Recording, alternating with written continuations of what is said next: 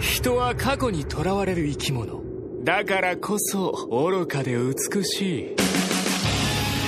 俺は自分の信じた道を行くだけだ。兄さんは何を犠牲にしたか覚えてないのか。忘れるわけねえだろ。いつでも殺して差し上げますよ。俺は絶対忘れない。青のエクソシスト劇場版。お願いだ。消さないでくれ。